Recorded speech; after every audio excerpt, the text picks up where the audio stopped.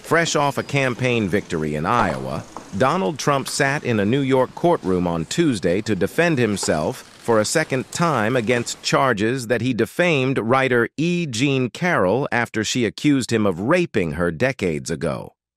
Trump watched from the defendant's table as Carroll's lawyer told a jury that the then U.S. president made her life miserable when she went public in 2019 with her story that he had attacked her in a department store dressing room in Manhattan.